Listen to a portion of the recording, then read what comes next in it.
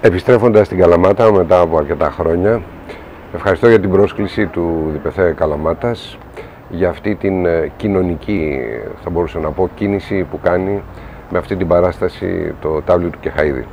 Το θεωρώ σημαντικό ε, το θέατρο να φύγει από το θέατρο και να κατέβει στις γειτονιές. Να πάει σε χώρους όπου πραγματικά χτυπάει η καρδιά του κόσμου και συγκεκριμένα με αυτή την παράσταση φιλοδοξούμε να το επιτύχουμε. Διαλέξαμε το έργο του Δημήτρη Κεχαίδη γιατί είναι ένα έργο λαϊκό, ένα έργο που απευθύνεται σε όλο τον κόσμο, ένα έργο που δεν χρειάζεται ιδιαίτερη προσοχή για να το παρακολουθήσει κανείς. Είναι ένα έργο στα όρια της αυλογικότητας που συγκινεί και συγκίνησε βαθιά όπου παίχτηκε.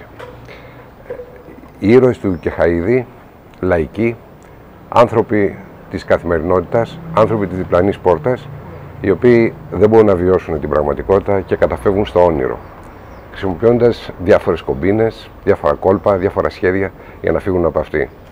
Με αυτόν τον τρόπο περιγράφουμε και μια δυσκολία που έχει σήμερα ο Έλληνας να ξεφύγει από αυτή την σκληρή πραγματικότητα. Το έργο αυτό, το οποίο διαθίζεται με ξεκαρδιστικούς διαλόγους, έχει μια ολοκληρωμένη πλοκή και είναι ένα αριστούργημα της ελληνικής ε, θεατρολογίας. Ε, θέλω να ευχαριστήσω τον αγαπημένο μου φίλο και συνάδελφο Φίλιππο Σοφιανό, που παίζω μαζί σε αυτή την παράσταση. Μα συνδέει χρόνια μια φιλία και σε αυτή την παράσταση θα συνεπάρξουμε μαζί στη σκηνή όπως και άλλες φορές. Πιστεύω το Διπεθέ Καλαμάτας με αυτή την παράσταση και εγγενιάζοντας αυτό το χώρο, τον εξαιρετικό χώρο που είναι η αυλή του θεάτρου, ανοίγει ένα καινούριο δρόμο ε, στην τοπική κοινωνία όσον αφορά το θέατρο.